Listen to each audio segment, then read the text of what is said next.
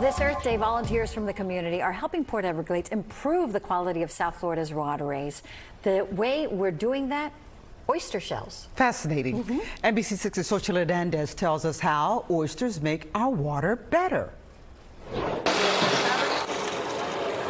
What better way to celebrate Earth Day than by reusing and recycling? These shells were previously shucked and actually donated from a restaurant outside of Broward County. And now they're being drilled and prepped to be thrown back into the waterways in order to clean the water.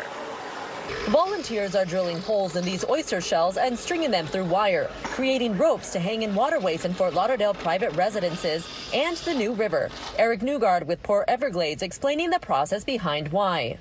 When oysters are babies, they swim. And when they they'll find a place that they like to live and they'll put down basically their roots, they'll settle on a shell. And we're going to take these oyster shells once the babies are bigger and we're going to create oyster beds in areas where they used to be. Citing land development as one of the main reasons behind destroying habitats where oyster shells once thrived, harming Florida water quality. Quality is degraded. And oysters are one of the fundamental resources in our waterways to naturally filter uh, these waters, provide habitat for fish. According to these conservationists, one shell can clean 50 gallons of water yes, we can't do it without everybody working together. It, we really need collaboration.